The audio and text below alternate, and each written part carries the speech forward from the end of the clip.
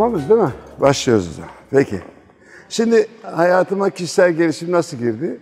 Ya ben aslında yani çok klasik olur. Bazı sanatçılar da anlatır ya. Ben küçükken işte çok küçüktüm işte sahne kurardım işte şarkı söylerdim bilmem ne falan derler ya öyle anlatırlar.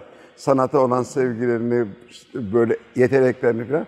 Benim de gerçekten çok küçük yaşta bu beynin çalışmasıyla ilgili böyle merak. Ya ben bunu nasıl kullanabilirim? Ee, işte o zaman bizim ticaretlerimiz vardı. Onu nasıl yani insanları nasıl hipnotize edebilirim? Ee, onlar bütün alışverişlerini benden yapsın. Küçüğüm yani 8 yaşında, 7 yaşında, 9 yaşında. Böyle nasıl ben bunu e, kendi yönüme pozitif kullanabilirim? İnsanların beynini nasıl programlayabilirim? Kendi beynimi nasıl programlayabilirim? Yani potansiyelini pozitif yönde kullanmak üzerine küçüklükten bende bir merak vardı. Beynimin potansiyelini kullanmak. Yani ondan sonra böyle yıllar geçti ama ben böyle denemeler yapıyorum filan falan. Bir gün Ankara'dayız. 15 yaşındayım filan. Bir kitapçıya girdim. Bir böyle kişisel gelişim kitapları gördüm. Bu dediğim zaman da işte 1970'li yılların başı. 72, 73, 74 o yıllarda. Daha kişisel gelişim de yeni başlıyor. Çevrilmiş bir kitap. Ha bir baktım adam benim gibi düşünüyor yani. Dedim ya bir tek ben değilmişim başka insanlar da. Bir de ben çok küçük bir bölgede büyüdüm yani. Orada pek dışa açık değildik. Kitaplarla haşir neşir değildik çok fazla. Dolayısıyla da aa dedim benim gibi düşünen, düşünen insanlar, merak eden insanlar varmış dedim. Aldım birkaç kitap sonra onları okudum. O kitaplardaki şeyleri uygulamaya başladım filan. Öyle öyle başladı daha bir böyle bilinçli yapmaya, meditasyon yapmayı öğrendim. Çok bir de iyi kitaplara denk geldim. O bugünkü e, aklımla bile beğeniyorum o kitapları yani. Anlatılan şeyler gerçekten çok güzel faydalı bilgilerdi. Tesadüf. Ondan sonra e, yani başladım ufak ufak kendi kendime bir şeyler yapmaya. Mantra yazıyorum bilmem ne. Öyle çok amatörce meditasyon, e, yaratıcı imgeleme, imgeleme. Biliyorsunuz yaratıcı imgeleme ne demek? İşte e, oturuyorsunuz, hayal ediyorsunuz. O hayali, hani diyor ya çekim yasası. Yani öyle hayal ettiğiniz şeyleri hayatınıza çekmek olayıdır. E, çekim yasası ve yaratıcı imgeleme. Yani yaratıcı imgeliyorsunuz, yaratıcı bir şekilde istediğiniz e, şeyleri hayal ediyorsunuz, onları hayatınıza çekiyorsunuz. Budur yaratıcı imgeleme. Neyse başladık bunlarla uğraşmaya. Sonra öyle bir durum oldu. Ben işte 27-28 yaşlarında Paris'e düştüm yani. Öyle bir tesadüf, hiç planlı bir şey değil. Sonra ben bir fark ettim ki burası okyanus. Yani hani Türkiye'de bazı kitaplar var ama burada Paris'e girdiğim zaman bir, bir kitapçıda böyle boydan boya o zaman dediğim zaman da 80'li yılların sonu inanın böyle binlerce kitap. Ben artık şöyle yani o ekonomik durum da çok iyi değildi. Kitapları or- orada okuyabiliyorsun. Kitabı okuyorsun. Her gün bir kitap okuyordum, iki kitap okuyordum. O hafta okuduğum kitaplardan en fazla bir tane alabilirdim. Yani bütçem eve vermezdi. En beğendiğim, en faydalı kitaplar filan falan. Öyle ondan sonra orada kurslara yazıldım. Meditasyon, işte e, kişisel gelişimle ilgili. Ya benim her zaman şeyim şuydu. Ben bir hekimim sonuçta. Yani biliyorsunuz hekimlikte teşhis ve tedavi vardır. Benim gözlemlediğim kişisel gelişimde genellikle teşhis çok güzel konuluyor. Ya işte pozitif olun. İşte fark şey olun, e, farkında olun. Farkındalığı yaşayın e, ne bileyim negatif şeyleri atın kafanızdan filan. Çok güzel tavsiyelerde bulunuyor. Ama kimse demiyor ki kardeşim şunu yap mesela farkında olacaksın. Şunu yap hayatında istediklerine ulaşacaksın. Anahtarı vermiyorlar. Yani yok ki. Yani bilse zaten verecek aslında. Benim her zaman arayışım şuydu. Acaba çok fazla böyle ben zaten kitaplarında da dikkat ederseniz ben bir kitabımdan beş kitap çıkar aslında. O kadar konuları ben kısa kısa anlatıyorum ki uzatmıyorum. Bakın isterseniz bir konuyu bir kitap yapmak için uzatır da uzatır, uzatır da uzatır. Gerek yok. Benim zaten o kitaplarda maddi bir şeyim yok, e, kaygım yok. Zaten parasını da ben almıyorum. Çocukları da eğitim vakfına veriyorum biliyorsunuz. Evet yani ben ilk günden bunun adını koydum. Ben kişisel gelişimden para kazanmıyorum. Hiçbir zaman öyle bir hedefim olmadı. Benim başka ticaretlerim var. Ben zaten dedim yani ben bunu sadece bugüne kadar biriktirdiğim bilgilerimi paylaşmak için kullanacağım. Böyle yapıyorum. O amaçla kullanıyorum. Neyse ondan sonra Paris'ten sonra tabii orada bayağı eğitim falan. Ama benim amacım yani bunu insanlara anlatmak değil. Ben kendi kendi gelişimim için öğreniyordum. Yani ben istiyordum ki başarılı bir insan olayım, birkaç dil konuşayım, ne bileyim dünya insanı olayım. Dünyanın her yerinde yaşayabileyim. Öyle bir mantalitem, öyle bir dünya görüşüm olsun, eğitimim olsun. Hep buydu hedefim.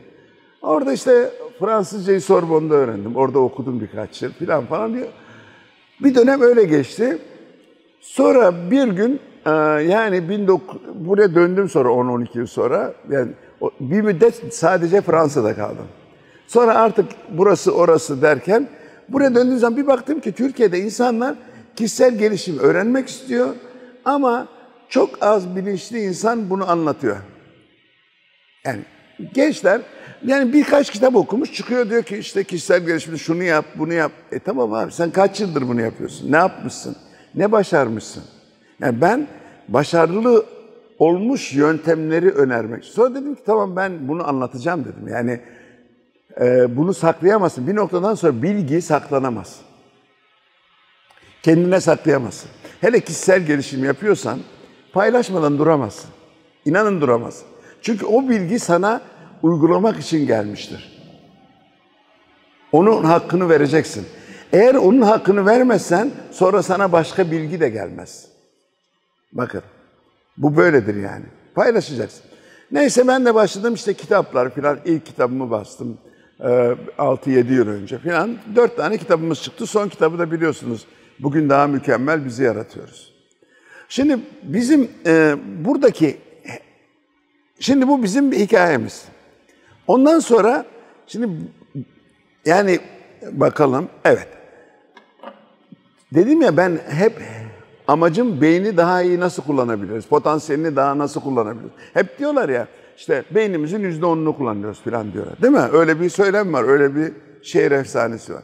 Aslında doğru yani. Aslında beynimizin çok az bir kısmını kullanıyoruz. Neden biliyor musunuz? Çünkü bizim beynimizle iletişimimiz yok. Şimdi beyniniz okey size yardım etmek istiyor. Size yardım etmek istiyor ama siz onun dilini bilmiyorsunuz. Düşünebiliyor musunuz? Siz onun dilini bilmiyorsunuz. Diyeceksiniz ki ya beynin dili mi var? Beynin dili var. Bakın bilinçaltımızın dili var. Eğer beyninizle konuşmak istiyorsanız onun anlayabileceği bir dilde konuşacaksınız. Anlatabiliyor muyum? Şimdi anlayabileceği bir dili anlatayım size ben.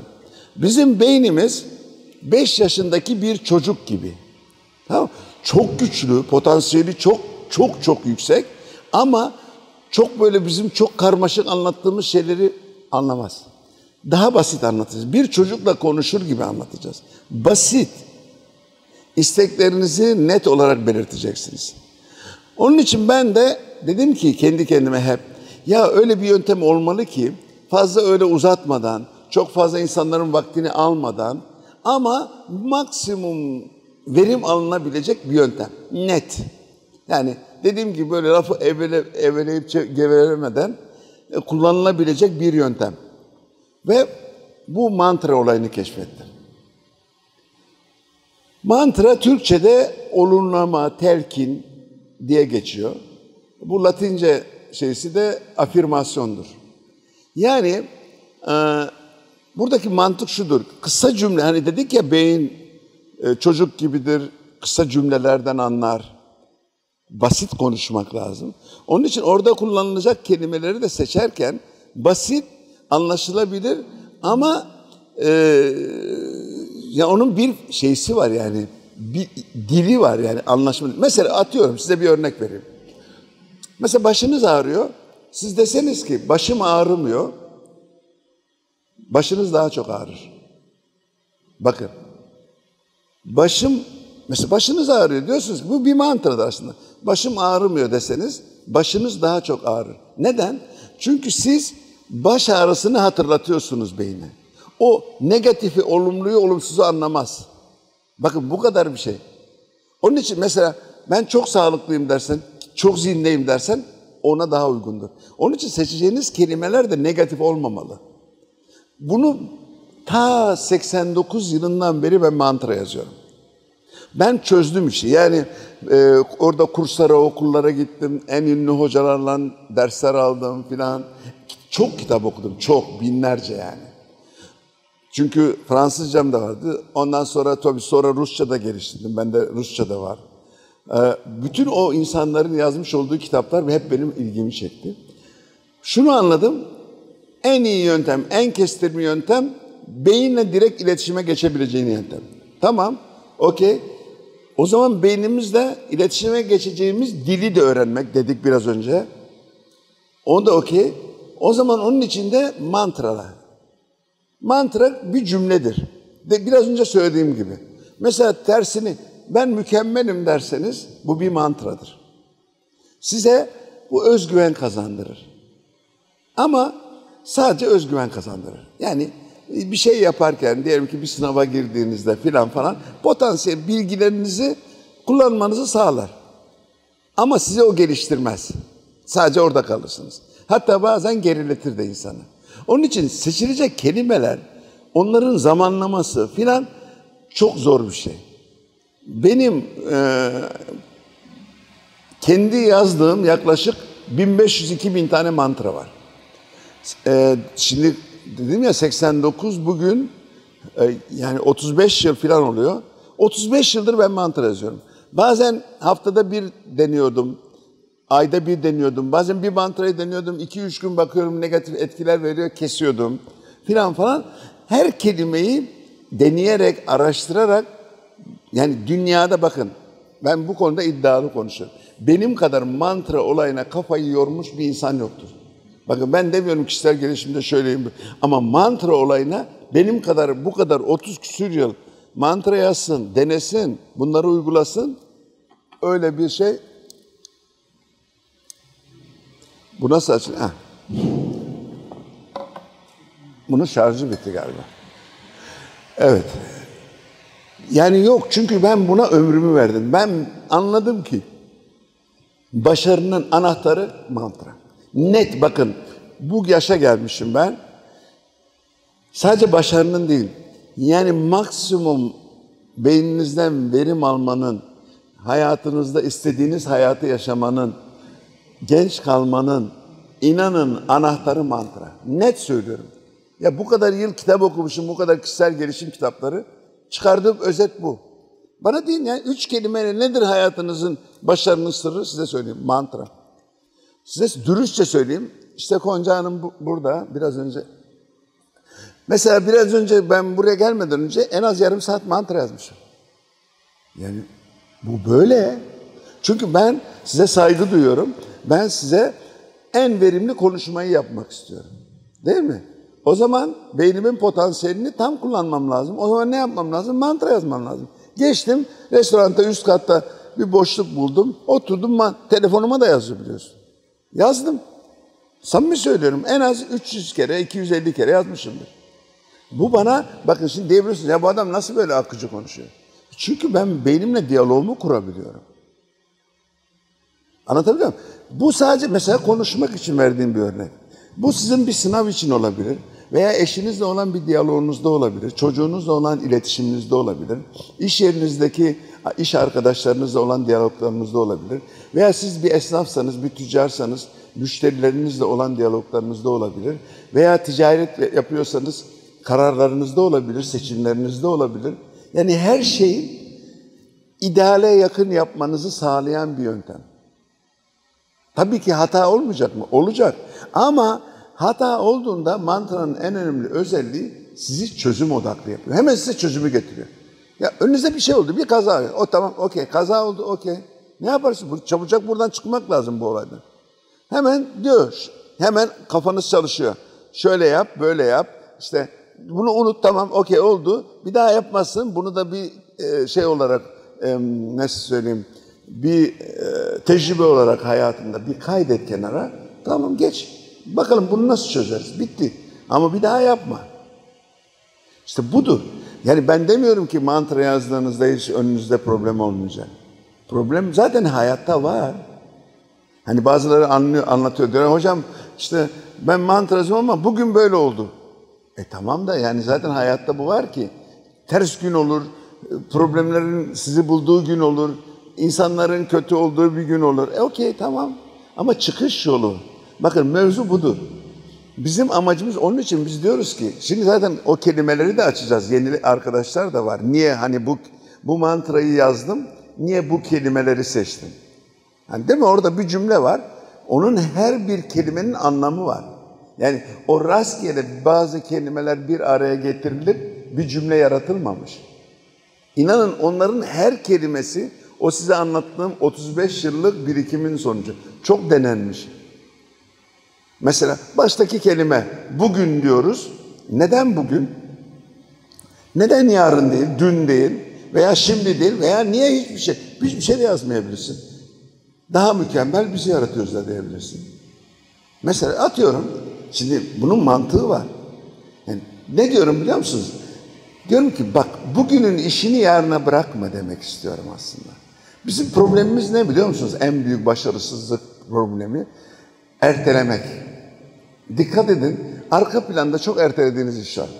Bunu yapacaktım, bunu yazacaktım, bunu alacaktım, bunu arayacaktım. Ar yapacaktım, yapacaktım. Onlar birikiyor arkada. Ve hep yük. İşte ertelemeyi en önlüyor bu. Diyor ki bugün. Bakın daha önce ben mesela her saniye bile denedim. Bakın her saniye. Şimdi bu herkeste olmuyor. Stres yapıyor bazı insanlarda. Çünkü diyor ki her saniye daha mükemmel bizi yaratıyoruz. Her saniye. O zaman bazı insanlar kaldıramıyor bunu. Şey, stres yapıyor, gergin oluyor. Bugün deyince hem bir zaman vermişsin kendine hem de e, kendini strese sokmamışsın. Mesela ben şimdi de uygulardım. Bu denedim yıllarca de, şimdi de yazdım. Veya hiçbir şey yazmadım. Bir süre koymakta fayda var. Ama o sürede seni böyle boğmayacak, strese sokmayacak. Onun için bugün dedik. Daha mükemmel. Şimdi diyebilirdim ki bugün mükemmel bizi yaratıyoruz. Şimdi hayatta en büyük problemlerden biri insanın kendini hani mükemmelleşmeye zorlaması. Hani o zaman sen hiçsin, mükemmel bizi yaratıyorsun. Sen mükemmel değilsin. Ben diyorum ki daha mükemmel. Bakın burada bir mantık var yine. Diyorum ki sen mükemmelsin ama daha mükemmeli yapabilirsin. Bakın. Yani kendimize değer veriyoruz. Bugüne kadar yaptıklarımıza da saygı duyuyoruz. Bugüne kadar başardıklarımızı da da övünüyoruz. Diyoruz ki ama daha mükemmel bizi yaratıyoruz. Daha iyisini yapabilirim demek istiyoruz. Tamam? Buradaki onun için mükemmel değil, daha mükemmel. Sonra daha en önemli kelimelerden biri bizi. Şimdi herkes diyor ki hocam ya niye ben değil ya? Beni yaratıyorum yazayım ben. O aynı işi görmüyor. Bakın vücudunuzda 60 trilyon hücre var. 60 trilyon. 60 trilyon hücrenin her birinin kendine özgü şeyi var. Yani bir beyni gibi düşünün bir yaşamı var. Yani bir canlı her 60 trilyon. Şimdi bakın siz bu kadar büyük bir ordunuz var ve bu ordunuzu isterseniz çünkü e, şimdi o hücreleri böyle şey yapmayın nasıl söyleyeyim es geçmeyin. E, o hücreler bir yılda şey pardon şöyle söyleyeyim bir buçuk yılda vücudunuzdaki bütün hücreler değişiyor aslında. Bir buçuk yılda siz sıfır oluyorsunuz. Ama şöyle bir mantık var. Yani şimdi diyebilirsin o zaman niye ben bir buçuk yıl sonra genç olmuyorum? O ölen hücrenin bıraktığı noktadan diğeri devreye giriyor. Yeni hücre. Yani aynı yaştan, aynı düzeyden. Ha, ama bu mantramızı yazarken bu hücreler bile bakın çok kişi şunu yapıyor. Mantra yazan, düzenli yazanlar bilir. Genç kalıyorlar. Bakın bugünkü konumuz genç kalma. İnanın genç kalıyorlar. Çünkü o hücrelerle 60 trilyon hücreyle siz biz diyorsunuz. Bugün daha mükemmel bizi yaratıyoruz derken siz o hücrelere de komut veriyorsunuz. 60 trilyon hücre beyninize de komut veriyorsunuz. Diyorsunuz ki bugün daha mükemmel bizi yaratıyoruz. Bakın beyniniz o kadar büyük bir güç ki mesela şu anda ne yapıyor? Benim söylediklerimi algılamaya çalışıyorsunuz. Onları analiz ediyorsunuz. Beyninizden süzgeçten geçiriyorsunuz. O sırada öğlen yediğiniz yemekleri de sindiriyor. Kan dolaşımınızı takip ediyor. Düşünün yani e, solunumunuzu da takip ediyor. Hepsini beyin otomatik yapıyor. Yani neler ne hücreler ölüyor, doğuyor falan. Biz buradayken onlar hep devam ediyor. Ya böyle bir böyle bir güç var elinizde. Bu güç sizi daha genç yapabilir. Bu güç sizi daha başarılı yapabilir. Sadece onunla iletişime geçin. Saygı duyun. Şimdi siz derseniz ki ben yapıyorum. Ya, o zaman yap abi diyecek. Sen yap o kadar çok biliyorsun. Her şeyi sen yapıyorsun. Sen en büyüksün. Sen her şeyi biliyorsun. İşte biz diyoruz ki biz biz olduğumuz zaman bunu daha mükemmel biz yaratıyoruz. Beynimizle de bunu konuşuyoruz. O 60 trilyon hücredir. Sadece bu da değil. Biz bir ailede yaşıyoruz. Ailemiz var. Diyelim ki karı koca çocuklar. Şimdi eğer ben evin reisiyim, işte benim dediğim olur, anlatayım ben, ben, ben. O zaman problem oluyor ki ailelerde. Halbuki biz kelimesini o ailede hayatın merkezine oturtursanız herkes birbirine saygı duyar. Eşiniz size saygı duyar, siz eşinize saygı duyarsınız çünkü biz diyorsunuz. Çocuklar size saygı duyar çünkü onlara saygı duyuyorsunuz. Bunlar hepsi bir araya geldiği zaman başarılı olur, mutluluk oluyor. Bakın onlar da sizin yükselmenize yardım eder. Bakın size bir şey söyleyeyim. Ben tek başıma şu tavana değebilir miyim? Değmem. Ama değebilirim. Tek başıma değil. Eğer hep beraber bana yardım ederseniz, biri birinin üstüne çıkarsa, biri birinin üstüne çıkarsa bu tavana değeriz. Değil mi? Ne oldu? Biz olmanın gücü. İşte bu ailede de öyle. Ailede huzur istiyorsanız, refah istiyorsanız, mutluluk istiyorsanız, para istiyorsanız, ne bileyim ne istiyorsanız biz kelimesine toplandığınız zaman elde edersiniz. Yoksa erkek bir taraftan konuşur, bir fikri çeker bir tarafa, kadın bir tarafa çeker, çocuklar bir tarafa. O ailede huzur olmaz ki. Onun için ailede biz kelimesini merkeze koyun. Çocuklarınız da size saygı duyacak. Diyecek ki bak benim annem babam bana saygı duyuyor. Beni adam yerine koyuyor. Beni dinliyor. Yani çocuk diye bir şey yok yani. O da bir birey. Siz birey olarak gördüğünüz zaman biz kelimesini içine sindirdiğinizde bir birey olarak görürsünüz. O zaman problem yok. Hiç problem olmaz. Bakın hep problem iletişimsizlikten oluyor. İnsanlar birbirine hep dikkat edin. Kadınlara sorun. Eşinden neden memnun değilsin? Beni dinlemiyor. Dinlemiyor. Evet. Dinlemiyor biliyor musun ne demek dinle? Benim farkımda değil. Benim erkekler için de aynı şey söylüyor. Yani ben şimdi er, kadınlar dedim de yani erkekler de çoğu zaman aynı şeyi söyleyebilirler yani. Benim eşim dinlemiyor. Anlatabiliyor Veya bana saygı duymuyor.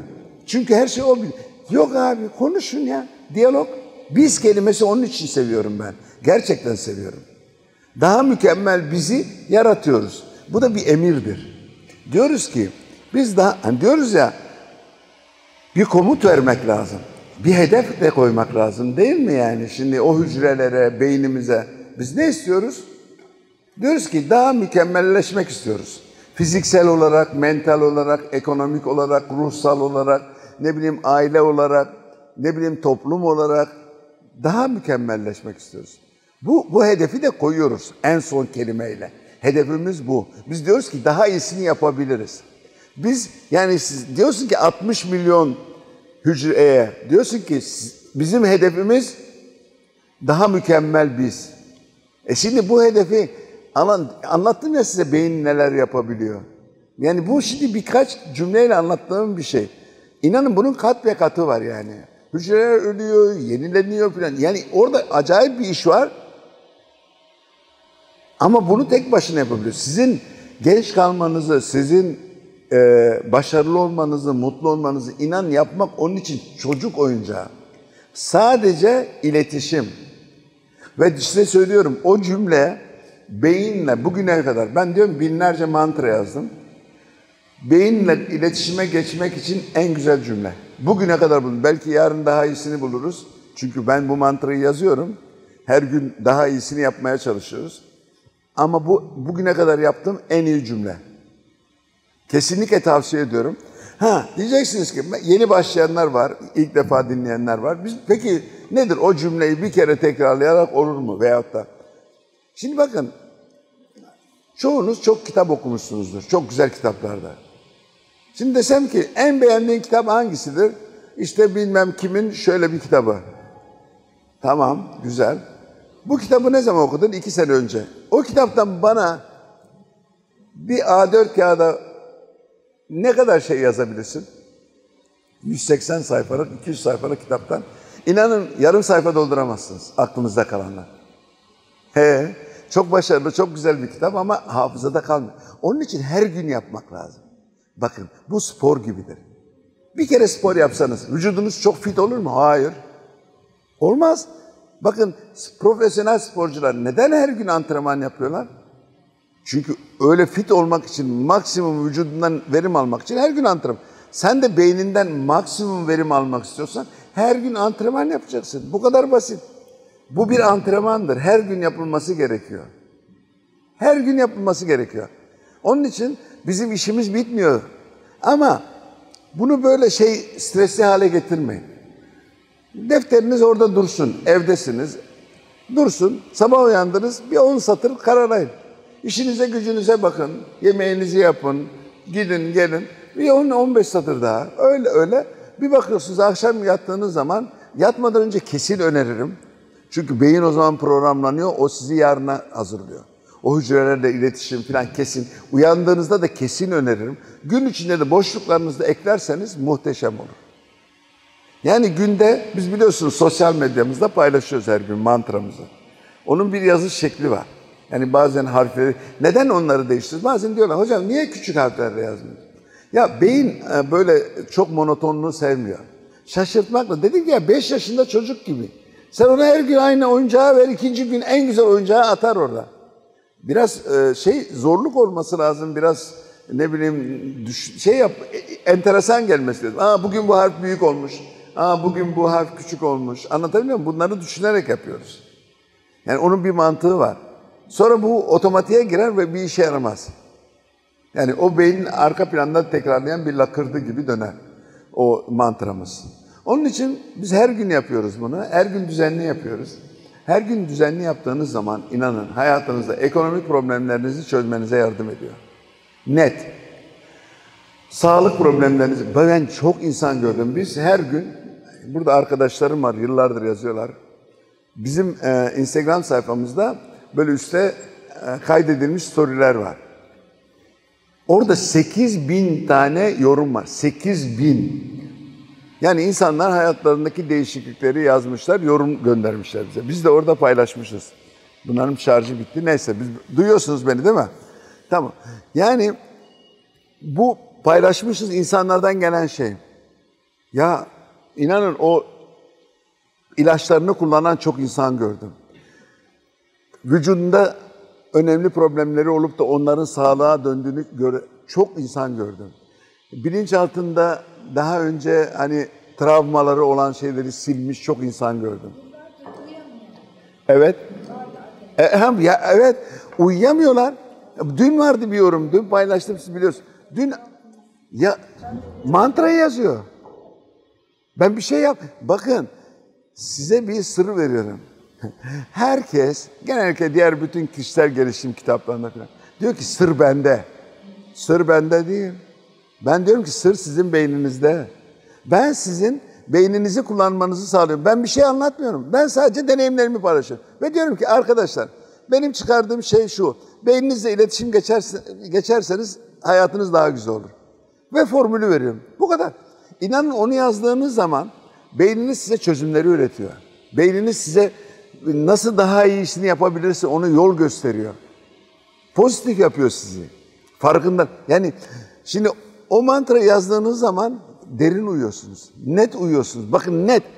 Başlayın yazın. Günde bizim anlattığımız şekilde yazın. Bir hafta sonra şaşıracaksınız. Ne dünde kalalım ne yarını takalım kafamıza. Bugün. Sadece bugüne konsantre olalım. Onun için biz diyoruz ki bugün. Mantramızın birinci kelimesi bugün. Diyoruz ki bugün önemli. Dün şu olmuş önemli değil. Yarın şu olabilir mi? Kim bilir olabilir. Nereden biliyoruz yani? Yarın olabileceğini kim garanti ediyor? Kimse edemez. O zaman yarına takılmayalım, düne de takılmayalım. Bugün ne yapabiliriz maksimum? Bozulmuş şeyler mi var? Onları düzeltmeye çalışalım. İlişkimizde bozulmuş şeyler mi var? Onları çözmeye çalışalım. İletişimimizde mi şeylerimiz var? Kariyerimize katkı mı yapabiliriz? Bugün yapacağız ya. Hiç ne yarın falan yok yani. Bugün işini yarına bırakmıyoruz. Öyle olunca ne oluyor biliyor musunuz? Siz bugün yapacağınızı yaptınız. Akşam var ya mışıl mışıl uyuyorsunuz. Ve dinleniyorsunuz. Net. Çünkü bakın şimdi diyebilirsiniz ki hocam niye ben ilk başlarda yüz ben tabii çok yazıyorum. Eskiler bilir. Ben ilk önce yüz önermiştim. Denedik. Daha fazla yazanlar daha fazla sonuç aldı. Daha hızlı sonuç aldı. Biz de dedik ki arkadaşlar stop. Çünkü ben de kendimi geliştiriyorum. Bakın ben bu yolda çok şey öğrendim. Yani ben kendi başıma mantra yazarken başka, şimdi bir milyon kişi yazıyor. bir milyon. Çünkü bizde beş dilde yazıyoruz. Yani sadece Türkiye'de yazılmıyor. Rusya'da, Belarus'ta, Ukrayna'da, Fransa'da bu mantra kitapların dört dile çevrilmiş yani. Biz bir milyona yakın insan yazıyor ve bunlardan bunlardan var ya çok şey öğreniyorum. Ben inanın sadece size öğretmiyorum. Ben sizden de çok şey öğreniyorum. Mesela dünkü hikaye, uyku hikayesi. İnanın var ya dondum kaldım. Çok duymuştum. Biliyorsunuz öyle uykuyla ilgili çok pozitif şeyler var. Geri dönüşümler var. Ama bu var ya hitti yani. Dünkü hitti. Yani ben mesela çocukların yazmalarını da öneriyorum. Çocukları hani ikide bir dürtüklemeye gerek yok. Ödevini yaptın mı, dersini çalıştın mı bilmem. Bunu yazsın. Çocuk var ya daha konsantre oluyor. Yani kendi işini kendisi yapıyor. Farkındalığı artıyor. Çocuk e, böyle sahiplenme duygusu, bir özgüveni. Bu benim mi? Yok benim değil. Sahiplenme duygusu her şey oturuyor yerine. Onun için benim size önerim, önerim her gün mantra yazın. İnanın çözümler böyle önünüze şey gibi gelecek. Böyle hiç ummadığınız gibi gelecek. Evet. Ha o da var. Hayatınız mesela şimdi mantra yazıyorsunuz ya sizin ihtiyacınız olan insan bravo vallahi çok doğru. İhtiyacınız olan insan bir bakıyorsunuz hiç ummadığınız yerde karşına. Çoğu kişi beni nasıl buluyor biliyor musunuz? Çok ilginç. Diyor ki hocam diyor ya ben diyor çok bunalımdaydım, çok bunalımdaydım. İşte ben diyor internette dolaşırken bir baktım sizin videoya denk geldim. Size denk geldim. Ya hani çekiyorsun. Diyorsun ki ya Allah'ım bana bir şey ver ya. Bir çözüm, bir yol yani. Ya artık çıkamıyorum işin içinden. Bir bakıyorsun. He? Orada da bir mandıra yapıyorsun. E işte çekim gücü. Hani diyoruz ya sen orada da yine beynin onu çekiyor. Senin ihtiyacın ne? Sen beynine diyorsun ki ya ben ben bir çıkış yolu bulmam lazım. Yani mesela ekonomik olarak problemler var. İyice şey olmuş. Anlatabiliyor muyum? Diyor ki ben bir çıkmam lazım bundan. E bir bakıyorsun o işte ona lazım kitaba denk geliyor veya videoya denk geliyor, kişiye denk geliyor, yönteme denk geliyor bizim mantramız gibi çözüyor. Evet. SOS evet geri geliyor.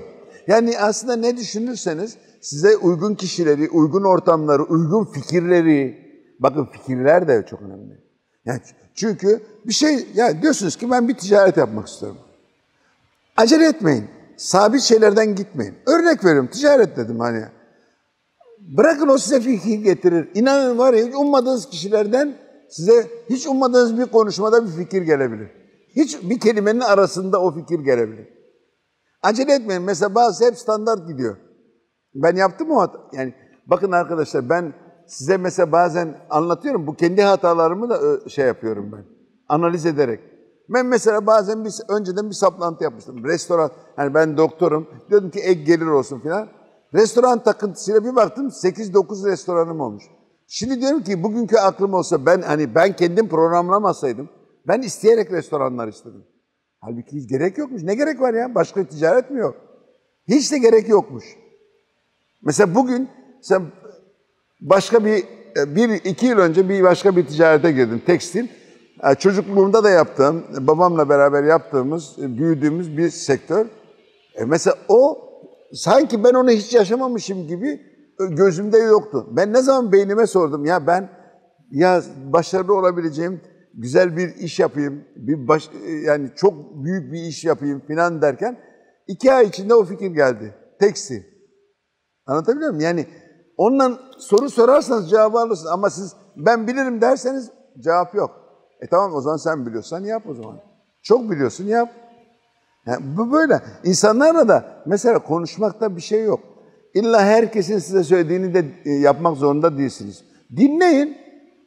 İnanın bir kelimeden neler çıkabilir yani. Bir kelimeden. Bir kelime hayatınızı değiştirebilir. Net söylüyorum. Ve o kelimenin kimden geleceğini de bilemezsiniz. Size kısa bir örnek anlatayım. Belarus'ta bir restoranımız var büyük. Dedik ki işte bir toplantı yapalım, işler nasıl artabilir falan öyle. Toplantıda 20 kişi var. E İşte herkes fikrini söylüyor. Müdür diyor ki menüyü değiştirelim. Bu diyor ki işte şöyle yapalım, bunu ekleyelim, bunu çıkaralım falan falan. Neyse. Kızlardan biri 15-16 yaşlarında böyle hafta sonları geliyor böyle e, stajyer gibi. Dedi ki Instagram'a niye reklam vermiyorsunuz? O dediğim de olay 10 yıl önce yani. Instagram yeni çıkmış filan. Dedim ne? Reklam mı? Instagram? Evet dedi Instagram. Reklam. Ben şöyle biliyordum. Instagram hani yediğin içtiğini paylaştığım ne bir, bir platform. İnanın o bana verdiği fikir var ya.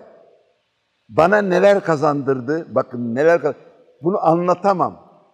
Anlatamam. Yani maddi şeyini anlatamam ya. İnanılmaz bir ufak. Bir kelime, bir genç bir insan. Senin tecrübenle nereden geleceğini bilemezsin. Ama sen alıcı ol. Hani sen açıksan o kelimeyi o sarf edebilir ama sen almaya açık değilsen o gelir buradan gider. Ama sen eğer alıcıysan, daha iyisini arıyorsan, kendini geliştirmek istiyorsan o zaman hiç sıkıntı yok. Onu alırsın sen. Senin aradığın odur. İnan diyorum ki yani size desem ki yüz binlerce dolar, milyon dolar öyle bir gelir. Yani Instagram bir şey, bir fikir.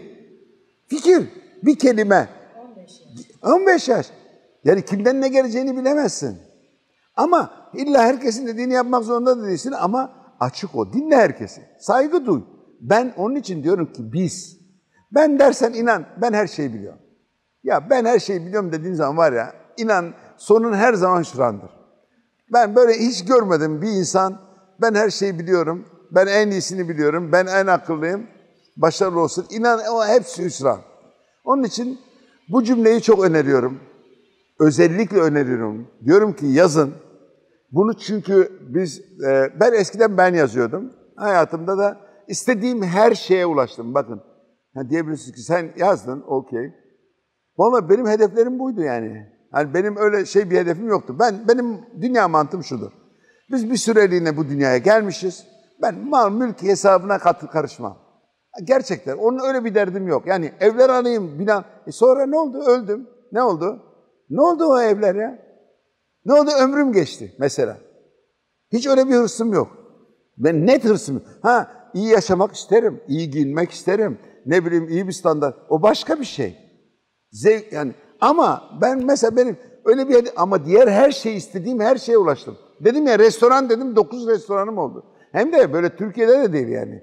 Paris'te iki tane, Nice'de iki tane, işte bilmem Belarus'ta oldu, burada da oldu bir iki tane. Oldu. Yani ne istedimse kendi kariyerimle ilgili ben kişisel gelişim böyle bu hiç o kadar o kadarını bile hayal edemiyordum. Ya ben çok mutluyum geldiğim yerde. En azından insanlara düşüncelerimi anlatabiliyorum, paylaşabiliyorum. Budur. Ben diyorum ki sizin hedefleriniz başka olabilir. Ama kesinlikle sizi hedeflerinize ulaştırır. Ha bazen üç gün, bazıları yazıyor üç gün sonra hiç ya aylardır işsiz, yıldır işsiz adam üç gün sonra iş buluyor. Gerçekten çok yaşadık yani. Yorumlar geliyor bizden ben kendimden şey yapmıyorum. Ve ben zaten dikkat ederseniz Instagram'da şöyle yapıyorum. Ekran görüntüsünü paylaşıyorum. Ben dokunmuyorum yani şöyle demiş böyle. Resmini çekiyorum paylaşıyorum bizim sayfamızda. Onun için binlerce orada yorum var. Ben sadece geleni gönderiyorum. Diyorum ki bu böyle yaşamış bunu görmüş. İşte mesela dünkü kadın gibi hani diyor ya uyuyamıyorum filan. Onun gibi hikayeler çok her gün hikayeler var. Onun için size önerim yazın. Çok zor bir şey değil. İnanın deneyin. Ben olsam ya bu adam bu kadar anlatıyor. Bu adam çocuk da değil. Gelmiş böyle net üstüne inanarak anlatıyor. Çünkü neden inanıyorum biliyor musunuz? Eskiden Ben bunu kendim yazıyordum. Çevremde de işte arkadaşlarımın çocuklarına falan falan der. Derim ki 300-500 kişi yazıyordum. Ama şu anda milyon diyorum. Ve insanların nasıl sonuç aldıklarını görünce yani ben şaşırıyorum. Ya diyorum ki böyle bir güç. Ha demek ki sadece bende olmuyormuş diyorum. Hani diyorum ya acaba yani benden mi oluyordu hani? Yok. Görüyorum yani okuma yazması zor zar olan insan bile bunu baş, baş, şey yapıyor, başarıyor. Yapabilirsiniz. Zor bir şey değil. Cümlemiz belli. Bugün daha mükemmel bizi yaratıyoruz. Zaten bizim sosyal medyamızda da her gün bunu paylaşıyoruz. Deneyin bakın arkadaşlar. Parasız bir şey. Bir de en dikkat ederseniz ben bunu paylaştığım zaman şöyle yapmadım. Kitabı yazıp kitabımı alın, kitaptan okuyun falan değil. Ben bunu böyle ücretsiz paylaştım. İki yıl, üç yıl insanlar yazdı. Sonra dedim ki çok hocam bunun kitabını yazsanız da kitabı yok mu? E, tamam dedim yazayım kardeşim. Zaten benim kitaplarımın da ilk günden şeysi şudur. Marev Eğitim Vakfı var, Çocukların Eğitim Vakfı. Onların bütün gelirler oraya bırakılıyor. Onun için ilk günden beri ben dedim kişisel gelişimden hiçbir para kazanmayacağım. Onun için yazın. Bir ücreti yok, denemesi bedava hani derler ya Türkçe'de. Böyle yazın. Hayatınız değişsin. Evet arkadaşlar benim söyleyeceklerim bunlar. Sizin sormak istedikleriniz varsa buyurun dinliyorum. Evet. Hocam şimdi iki gün önce tesadüfen Instagram'da ulaşımla karşılaştım. 4 Ağustos'tan beri e, ciddi sağlık problemlerim var. 3 tane var. Sinirlere baskı yapıyor, sağlık hiç çalışmıyor. Fizik tedavi görüyorum. Yani böyle çıkmazdayken bir anda sizi gördüm. Tamam. E, bütün yorumlara her şeyi okudum. Bugün de buradayım. İzmir'e gelmeniz de belki bir tesadüf. Ben de İzmir'de yaşıyorum. Şimdi şey sormak istiyorum ben. 150, minimum 150 kere yazdım. Ben bugün yazayım dedim bütünü. Şey çok ilginçti. E, ilk satırı yazdıktan sonra ikincisinde bir şey yok. E, büyük harf, küçük harf, ay bunlar kafamı karıştıracak. Çok enteresan ki ilk cümleden sonra diğerleri otomatikleşiyor. Evet. Yani Aynen. Hiç bakmıyorum yukarıya. E, o çok ilginçti ama ben 10-15 kere yazdıktan sonra zaten konuşukluk var. İşte ben onu demek istiyorum. Bakın arkadaşlar oturup bir seferde yazmaya çalışmayın. Bir seferde değil ama 10 kere yazdım ama çok yoruldum ve bıraktım. Tamam. E, bunun e, başka bir şeyden bana bir önerebileceğiniz en az minimum düzeyde nedir bu? Şimdi bakın 50 tane de yazabilirsiniz. İlla böyle 150 diye bir şey yok. Ama biz şunu diyoruz. Biz denenmiş hani ilaçlar vardır. Diyelim ki bir, bir yerde bir mikrop var antibiyotik kullanıyorsunuz. Adam diyor ki işte 1000 miligram günde iki kere. Çünkü o denenmiş, laboratuvarda denenmişler, sonuç alınmış. Biz de denediğimiz diyoruz ki en iyi sonucu böyle alırsınız. Ama bu demek değil ki günde 50 kere yazsanız hiç sonuç olmaz. Olur. Yazabildiğiniz kadar yazın arkadaşlar. Sonradan açılırsınız. Bakın ben size söyleyeyim. Hiç onu takmayın. İlla 150 diye takılmayın. Siz yazın. 30 kere, 40 kere. Bu, bakın spor salonuna ben hep gidince şöyle yapıyorum. Diyorum ki ya gideceğim biraz yürüyeceğim. Tamam. Ben diyorum ki gideceğim biraz yürüyeceğim diyorum spor salonunda. bir bakıyorum spor salonunda e, iki saat sonra çıkmışım. Bakın hiç kendinizi şey yapmayın, sıkmayın yani öyle. Ya ben 150, ben iki saat yapacağım diye strese girersem var ya spor salonuna ayağın gitmez. Ya ben diyorum ki gideceğim biraz ter atacağım. Ter atma bak, net. Vallahi de billahi iki saatte çıkıyorum. Ya öyle kendinizi, beyninizi kandırın yani dedim ya çocuk gibi. Ya tamam ben yazacağım, birkaç satır yazarım bırakırım. İnanın alışıyor sonra. Bakın ne dediniz? İlk anca dediniz ki o büyük küçüklüğü zor olacak falan. Sonra ne oldu? Diyorsunuz ki otomatik yazmaya başladım. Bu da böyle. Siz çok gerisiniz. Eski yazanlar bilir. Yani 150, 200, 300 yazıyorlar. 500 yazıyor. Bakın. Ama e, başlarda zordu. E, Ya 500 yazıyor bugün bakın. Kaç? E, e, tabii ki yani beyinde bir şeye alışmak için 21 gün kesin lazımdır. Bakın ne diyor? Zordu başta. 500 yazıyor işte burada. Kaç yıldır yazıyorsunuz? 3,5 sene. Peki yani 3,5 siz en eskilerdensiniz. O zaman bir iki cümleyle anlatın bakalım insanlar duymak istiyor. Yani ne değişiyor yani insanlar neler fark ediyor? başta Çevreniz değişiyor. Hı hı. yani hatta benim çiçeklerim, böceklerim, hayvanlarım da. Ee, gidenler gidiyor ve çok şaşırtıcı bir şekilde gidiyorlar. Evet. Ve çok daha ileri geliyor. Çünkü siz düzeldiğiniz anda güzel. Yani kişisel değişimde siz düzelirseniz çevrenizde. Evet. Onun dışında e, her şey sizde bitiyor. Çok güzel bir şey anlatmıştınız dışarıda. Diyor ki ben çiçeklerin yanında yazdığım zaman o yazdığım oradaki çiçekler de daha gelişiyor. Bizde bir hikaye var kediler. Ya bizde kedilerin hikayesi inanılmaz. Hocam her hafta en az bir 20-30 tane resim geliyor bana. Benim kedim gidiyor mantaranın üstüne oturuyor. Bakın işte. Sizin var mı kedi? Bakın işte onun kedisi de. Ya bu çok- şimdi kedilerin biliyorsunuz e, iç şeyleri çok büyüktür. Yani kediler inanılmaz bir dünyalar. Yani e, yani şimdi düşünebiliyor musunuz? Onlar o enerjiyi hissediyorlar, o duyguyu hissediyorlar. Ve gidiyor üstüne oturuyor, uyuyor orada. Başka bir hikaye vardı. Bazı ev hanımları yapıyor. Diyor ki ben mantra yazıyorum ondan sonra yatağın altına koyuyorum. Diyor ki evde diyor vallahi diyor kocam bir melek gibi oldu filan. Yemin ediyorum bakın. Net yani şimdi kedi bundan etkileniyorsa, çiçek etkileniyorsa yani ilginç geliyor. E şimdi bakın ben şöyle diyorum. E, geri dönüşüm kutuları var. Eğer oraya varsa mesela her şehirde her e, şeyde yok. Olan yerlerde geri dönüşüm kutu ama başka çaresi yok.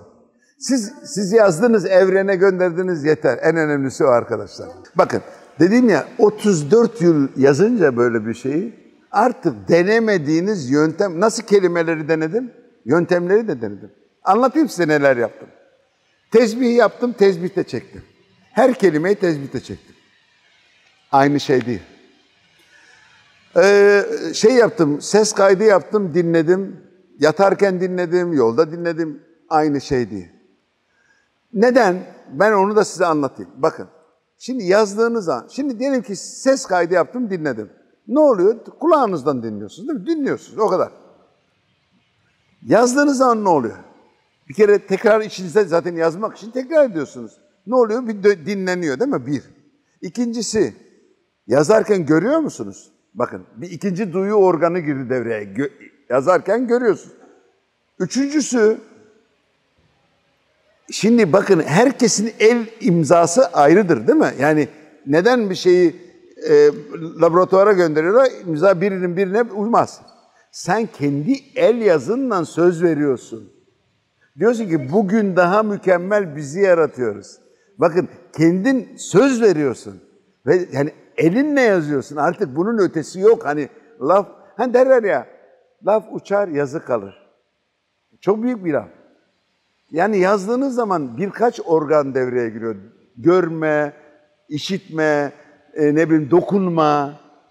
Bunlar hepsi devreye girdiği için çok daha etkili. En etkili yöntem bu. Ama ben mesela bazen, mesela şimdi şey anlattım, telefona yazdım. Telefona yazabilirsiniz. Bir imtihana gireceksiniz, bir şeye önemli bir görüşme bilmem ne telefona yazabilirsiniz. Tavsiye ederim. Ben böyle yapıyorum. Şu telefonu açıyorum şu notları bölümüne.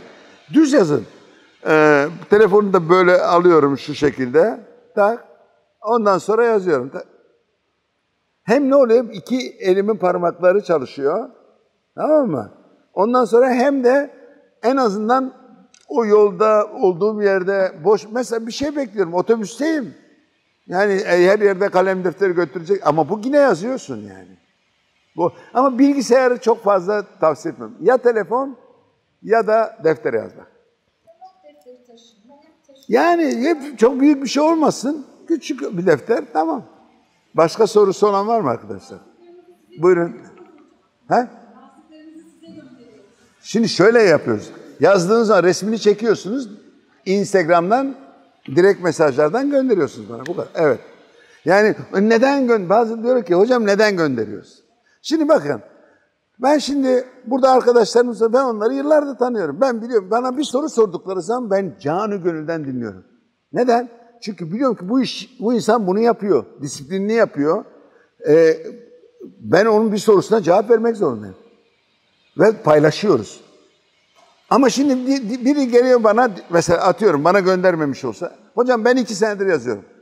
Ya ben iki senedir yazıp ne yazdığını biliyor musunuz ne yazmış?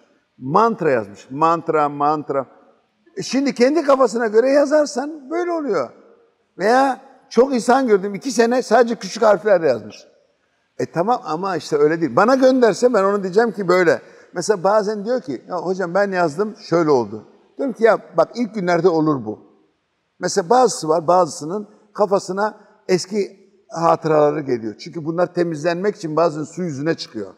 Şimdi yazıyorsunuz ya bugün daha mükemmel bizi yaratıyoruz. Eski travmalarınız çıkıyor bilmem ne. O iki üç gün sonra geçiyor. Çünkü boşalıyor artık burası. Hani derin uyku niye oluyor biliyor musun? Bu boşaltıyor. Çöpler gidiyor. Diyorum ki tamam sakin ol. Bu oldu da bazı arkadaşlarımızda da oldu. Ama bir iki hafta sonra geçer. Ve geçiyor. Mesela ama kendisi yazsa kendi kafasına göre diyecek ki ya hocam işte olmadı. Onun için göndermek onun için önemli. Yoksa bize bir ayrı bir iş. Biz bakıyoruz, kontrol ediyoruz, e, ce- cevap veriyoruz, soru soruyor. Yani bu kolay değil. Daha ben de diyebilirim şöyle. Mantra şudur arkadaşlar yazın. Tamam bitti. Ama neden bizim yöntemde başarı var biliyor musunuz? Bu disiplin. Zaten bunun disiplinini yaptığınız zaman sonuç alınır.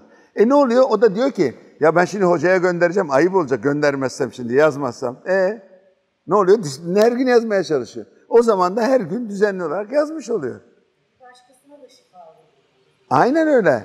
Yani siz yazdığınız zaman evet o da ilginç bir şey. Mesela çoğu insan yazıyor diyor ki ya benim eşim değişti diyor. Ya nasıl diyorum? Ya diyor ki ben yazıyorum diyor. Eşim diyor daha böyle benimle anlayışlı ol. Aslında orada biraz daha farklı bir şey de var biliyor musunuz? Şimdi kendisi yazıyor ya. Diyor ki bugün daha mükemmel bizi yaratır. Aslında biraz farkındalığı da artıyor. Biz kelimesini de hissediyor ve daha anlayışlı oluyor. Belki o fark etmiyor ama kelimeleri böyle güler yüzü falan e, inatçı olmuyor. Biz kelimesini sindirmiş artık. O öyle olunca eşi de ona aynı şekilde cevap veriyor. Bir bakıyorsun iletişim değişmiş. O diyor ki eşim de değişti. Halbuki kendisi de değişmiş aslında. Mesela yıllardır kitap okudum. Dişlerimizi hep ben. O kesin. O kesin. Bence kişisel gelişimin bugüne kadar benim gördüğüm en büyük hatası budur. O kitaplarda her zaman de- derler. Ben mükemmelim, ben şuyum, ben yaparım. Ya bırakın beni. Ben demek, dedim örnek verdim. Ben bu tavana değerim. Ama hep beraber yaparsak biz bizim gücüyle olur. Ama tek başıma yapamam. Onun için bence biz çok zaten bizim dünyadaki de problem bu değil mi? Biz desek var ya hayvanları da düşüneceğiz, diğer canlıları da düşüneceğiz, paylaşacağız. Ne bileyim yani mutluluk olacak bence. Evet buyurun. Benim soracağım şey belki konu dışı e, veya siz bahsetmiş olabilirsiniz. Fark etmez sorun. Kaçırmış olabilir. Ama bu vesileyle size sormak istedim. Tamam. Benim hayatımda böyle çok olan bir. Hiç düşünmediğim bir kişi mesela. 10 senedir, 15 senedir görmemiş, düşünmemiş. Bir anda aklıma geliyor o saniye. Ve Birkaç saniye içerisinde kapı çalınıyor, o içeri giriyor. Hiç düşünmediğim kişi. Evet. Böyle şeyler e, çok oluyor. Hatta e, arkadaşlar aramızda şakalaşıyoruz. Sen ermiş diyorlar bilmem ne diyorlar. Bu nasıl izah edilen bir şey? Siz mantrayı ne yazıyor musunuz siz? Siz mantra yazıyor musunuz? Hayır hiç. Ha yazmıyorsunuz. Ya ba- şimdi bakın bizim mantra yazanlarda Ben. Evet. Bizim mantra yazanlarda olabiliyor bu şey. Çünkü e, dedim ya biz ke- ya bu bir telepatik bir şey. Yani yani şimdi şöyle te- telepati e, yani bir e, duyguların e, şeylerin e, bir insandan bir insana geçme düşüncelerin e, şöyle söyleyeyim iletişimi düşüncelerin iletişimi gibi. Yani bir sinyal. Te- telefonla nasıl görüşüyorsanız aslında bizde bir enerji. Burada bir enerji var. Biz telefonla gönderiyoruz başka yerde bir şey. Aynı şey aslında insandan insana da olabilir. O, o mekanizma var insanlarda. Ama bazı insanların o şey güçleri daha fazladır. Nasıl söyleyeyim? E, telepatik güçleri. O, o zaman öyle oluyor. Daha çabuk onunla. Oluyor hayatta. Yani altıncı, altıncı histen Evet. farklı bir şey. Farklı bir şey. O altıncı hisse aynı bir şey değil. Bu bir enerji meselesi. Enerji. Enerjiyi gönderebilme yeteneği. Hepimizde var. Sadece geliştiriyor. mantığı. Evet. Daha yüksek. Mantra yazanlarda biz çok duyuyoruz onu. Ya anlatılanlar çok güzel, değişik anlatıyorlar. Ya diyor ki mesela siz biliyorsunuz yani yorumlarda anlat. Biz birbirimize bir bağla bağlıyız. Evet. Evrensel bir bağ. Aynen öyle. Yani bu bağ e, aktif olursa gerçekleşiyor. Yani odaklanırsa. Aynen öyle. Dolayısıyla mantra bunun bir ötesine çıkıyor. Çok insanda var ama köreliyor. Devam etmediği için. Kesinlikle herkeste var o aslında. Ama bazı insanlarda daha fazla var. Bazı insanlarda doğuştan var. Ba- bazı insanlar bu sonra yani bu mantra yazarak biz mesela oluyor diyor ki çok oldu. Diyor ki ben düşünüyorum ya ödeme ya ödemeyle ilgili problemim var diyor. Bir bakıyorsun babam aradı. Ya kızım senin diyor ki yıllardır aramaz benim mesela. Ya senin paraya ihtiyacın yok mu? Şey bir şey yok mu filan. İnanılmaz şeyler anlatıyorlar. İnanın yani bakın beynimizin öyle güçleri var ki bu kelimelerle mantıkla izah edilemeyecek. Yani bizim bilgimiz bunları anlamaya yetmiyor. Yani şimdi anlattım ya biraz önce biz konuşurken kelimeleri e, sentez etmek, işte araştırmak, bulmak, olan kelimeleri analiz etmek, ondan sonra o sırada sindirimi devam ettirmek değil mi? Dolaşımı, e, solunumu devam ettirmek bu kadar güçleri var. Hücreler ölüyor, doğuyor filan falan. Büyük bir güç. Ee, inanın yani sizin problemlerinizi çözmesi bir şey değil. Birine veya bir mesajınızı göndermesi, duygularınızı göndermesi veya onu hatırladığınızı hissettirmesi. Bir bakıyorsun diyor ki beni aradı diyor. Ben onu düşündüm diyor bir, bir saat önce, yarım saat önce. Bir bakıyorsun beni aradı diyor. Evet. Şunu sormak istiyorum. Her gün yazacağımız şey. Evet. Bugün daha mükemmel bizi yaratıyoruz mu? Evet. Yoksa kendi Yok söyleyeyim size. Lütfen. Bakın şimdi bizim Instagram'da sayfamız var. hemen girdim takip ettim. Tamam. Burada bana direkt mesajlardan yazıyorsunuz. So- bu soruyu soruyorsunuz. Ben size bir metin gönderiyorum. Okey. Ve diyorum ki bu şekilde yazacak. Sadece bu yazı şekli değil, mantığı da var çünkü. Değil mi? Olması Tabii tabii lazım. uzun.